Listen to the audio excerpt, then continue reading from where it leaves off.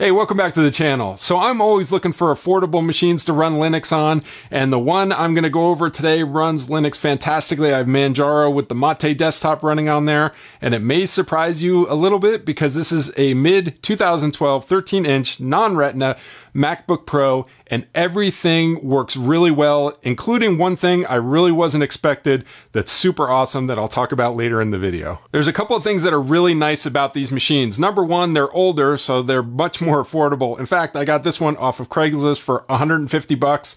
I think it only had 8 gigs of RAM in there and a super small uh, hard drive. But the other nice thing about these is that they're super upgradable. You just take the back off, and I threw 16 gigs of RAM in there and a 1 terabyte SSD, and this thing was flying with Mac OS, but I didn't want Mac OS on there, so I made my Manjaro installer, installed it on there, and everything worked out of the box. So the performance of this machine is great. Browsing around the web, navigating the operating system, even using multiple virtual desktops works great. Switching between all that stuff works fantastically. With the extra RAM and the faster hard drive, I see very little slowdowns. So just day to day performance is fantastic. You can do some light gaming in here. You can load Steam and, and load some uh, lighter weight games. And you can even do video editing with this machine and Kdenlive or Olive video editor, whatever you want to use, works pretty well for lower resolution files, or you could technically edit 4K files if you make some pretty small proxy files for all those 4K media. Performance wise, I'm super happy with the machine. As far as the hardware, like I said, everything was recognized out of the box and worked. The only thing I had to do was update some of the drivers for the Wi-Fi card because I did have some dropouts with the Wi-Fi, but after updating that uh, card. It worked fine. And like I said, I'm using Manjaro, so everything was available in either the default repositories or the AUR, uh, so I didn't have to go and manually compile anything. Everything else works Wi Fi, Bluetooth, the camera even works. Now, the camera on these machines are not great, but for, you know, basic video conferencing and stuff like that, they work fine. If you're doing streaming, uh, you probably don't want to use this camera, but otherwise, for just general use, it works great. So this thing has a ton of ports and they're all recognized by Manjaro, including a mini display port slash Thunderbolt 2 port.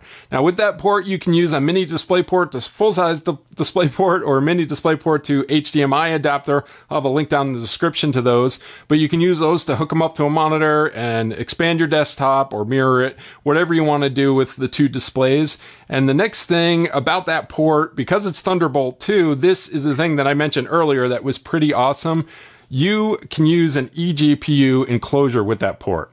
So I have a Thunderbolt 3 eGPU enclosure with a Radeon RX 560 card in it, and using that, a Thunderbolt 3 to Thunderbolt 2 adapter and the Thunderbolt 2 cable hooked up to that DisplayPort connection, I was able to use that eGPU and it works great. It's recognized out of the box. Now, it doesn't do hot swapping, so you can't plug it in and unplug it while the machine is on, but if you shut it down, plug it in, turn it back on, for me, it got recognized by default. I didn't have to do any configuration. Now, sometimes the applications won't use that eGPU by default, and there is a command you can run.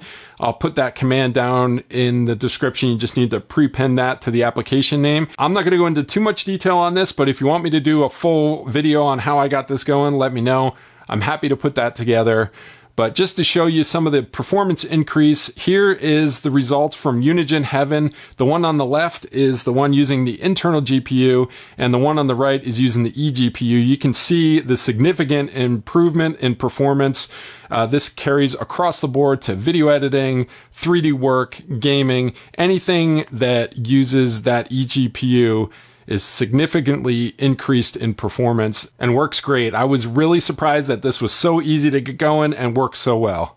So all in all, I would say these older MacBook Pros make fantastic Linux machines. Now, if you're going to go for the 15 inch instead of the 13 inch, just be aware that most of those do have a dedicated GPU. So the installation is a little more complicated with that dedicated GPU. I had to jump through a little bit of hoops on the 15 inch uh, 2011 MacBook Pro I have but if you go with the 13 inch that just has the integrated GPU, it's a no brainer. Zero configuration install. Everything works. It performs great. You can do so much more for things that require that eGPU.